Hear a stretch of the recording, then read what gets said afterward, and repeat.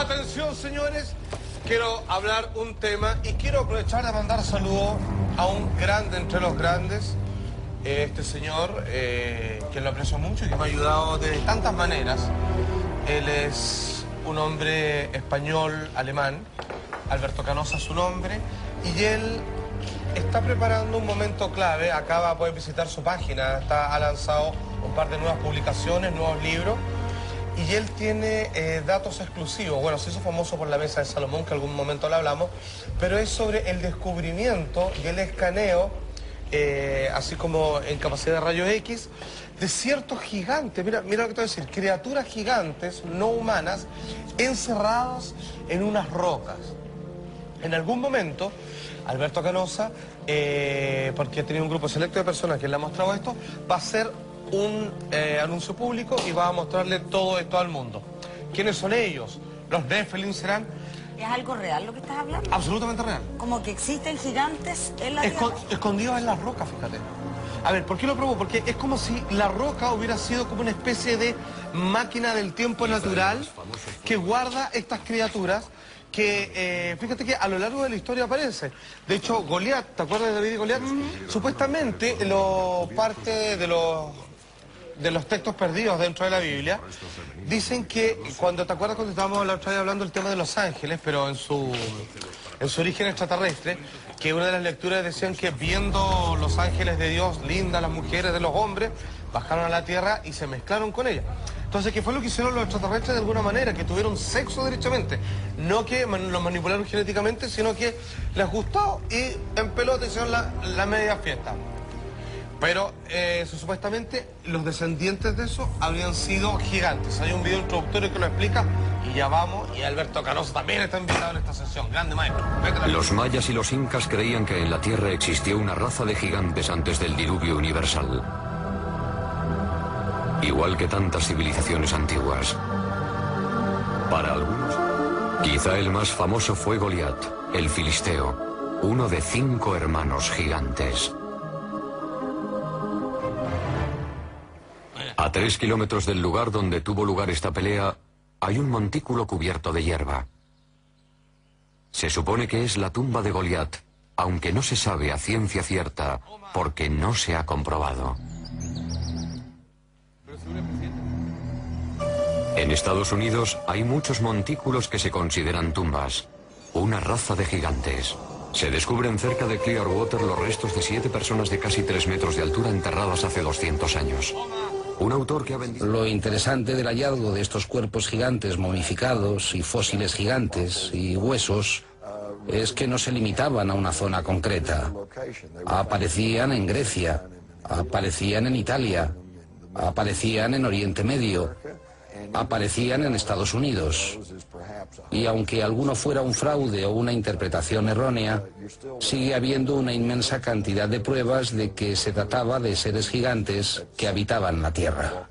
Uno de los grandes misterios del oeste es, ¿qué fue de estos gigantes?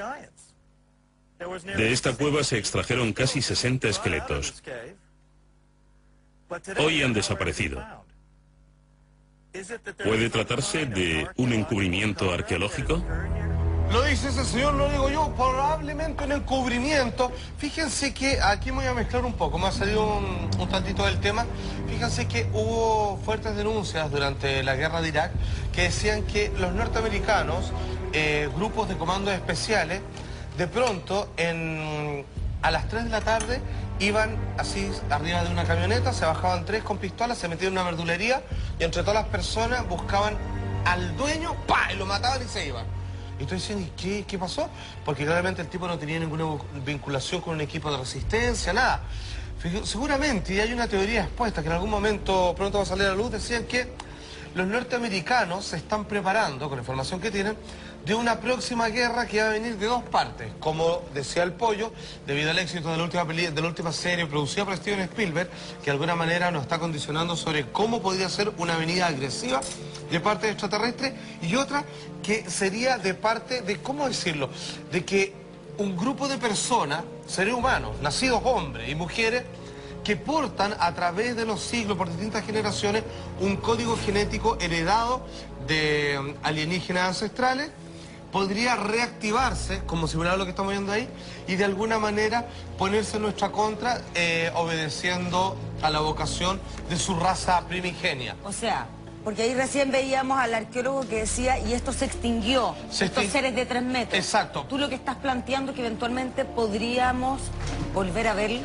Podríamos volver a verlo, de los que salen de las piedras, de sus descendientes que son humanos que desconocen su propia condición y probablemente de aquellos que resuciten de todos los que la ciencia y otros poderes fácticos han escondido. Pero finalmente, ¿qué es lo que estamos poniendo acá? Que los gigantes son extraterrestres. Esta parte del video así lo confirma. Creo que hay que ir a los primeros sumerios y escuchar muy atentamente sus palabras, porque lo que dicen, no solo una vez, sino en muchas ocasiones, es que su civilización proviene de unos seres que llegaron de los cielos a la tierra. Los llamaban los Ananoki. Los sumerios escribieron su historia en tablas de arcilla, que pasaron medio siglo olvidadas en un museo de Berlín. Pocos han logrado descifrar este antiguo lenguaje. Uno de ellos es Sekaria Sitchin. Recién, ¿qué es lo que me acaba de decir? Algo completamente no, lúcido, que, señor. Que, que lo- los tweets están comentando aquello que hablan de los titanes, por ejemplo, Exacto. para los griegos. Perdón, los titanes eran los todas que las precedían... culturas siempre han tenido algún gigante. Exacto, que son los que precedían a los dioses. Finalmente Zeus, el padre de los dioses en el Olimpo, se hizo famoso porque logró conquistar y recluir a los titanes. Ahí estaba Crono, Júpiter y tantos otros. Bueno, esos gigantes siempre tienen que ver con estas criaturas de poderes que, igual que los dioses, ¿qué hacían? ¿Te acuerdas que se mezclaban con los hombres? Claro. Les gustaban ciertas mujeres y ahí es donde se creaban los semidioses, como Perseo, por ejemplo. Bueno, la historia se repite de una forma u otra, pero siempre es el mismo cuento.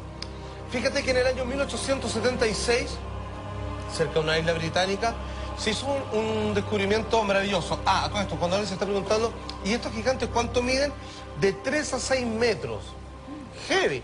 De hecho, el propio Sixto Paz decía que los extraterrestres del planeta Apu, por ejemplo, se caracterizan por medir 5 metros aproximadamente, con característica humana. Es ver una persona, pero de 5 metros, sí, pero muy bien conformada. Mira, esta huella, que es de una roca en España, data de una cantidad de tiempo que fíjate que, mm, que claramente no corresponde eh, a la presencia humana, no debería ocurrir mucho tiempo después. Claro. Y tiene otra parte, sí, pues es, es así de grande. Se ve la proporción con la zapatilla del Claramente, humano. un- claro. y eso que ese compadre es como Felipe, calza 48. Imagínate la patita al lado. 44, 44 no va a Salfato. Eso es verdad que estamos viendo. Eso fue en 1876, fue rescatado eh, cuando no existían los pranks, ha sido la facilidad. Fíjate que los arqueólogos sacó eso y lo expuso por mucho tiempo. Pregunta dónde está ahora vos, Claudia. ¿A dónde? ¿Quién sabe, para variar? Alguien se lo peló, pasó a estudio personal, absolutamente. Sin embargo, eso estuvo a la vista y paciencia de la luz pública por años, hasta que alguien dijo así como, ¿pero qué? ¿Me encontraron un gigante? ¿Cómo se lo están mostrando a la gente? Se van a acostumbrar cuando vuelvan. ¡Pasa para acá! Y se lo pelaron. Amigos míos, sin, em- sin embargo, quiero, eh, lo dije al comienzo de esta sección, quiero que escuchemos palabras de mi gran amigo Alberto Canosa. Acuérdense de, meterse en su página, que acaba de sacar interesantes publicaciones. Un hombre serio, con información única en su tipo, y que su abogado y amigo fueron asesinados cuando él comenzó a declarar las cosas que sabía. Sí, señor, pero no tenemos miedo, prevaleceremos. Póngale video. sobre los cuerpos de gigantes o nefelín, de extraterrestres o alienígenas y de mujeres, que hay dentro de rocas artificiales en España y en otras partes del mundo. Le diré lo siguiente. En multitud de mis artículos he enseñado fotografías de esas rocas, donde están esos cuerpos. Una de las más importantes, estoy harto de enseñarla en Estersteine, en Alemania, o llamado, o traducido al español, las piedras traídas de las estrellas. Pero es que enseñó muchas que hay en España y en otras partes del mundo. Pero ¿cómo es posible que durante miles de años estas rocas hayan estado allí y la gente no se haya dado cuenta? Sí se han dado cuenta, porque de tiempos remotos ya estas rocas eran y son centros de culto místico. Y que se entienda algo, como él mismo lo explica. al parecer no serían tumbas, sino máquinas de tiempo. Eh, procesos de estado de refrigeración esperando el momento preciso para volver a salir y tomar el lugar que en algún momento y antes que nosotros fue de ellos, este planeta.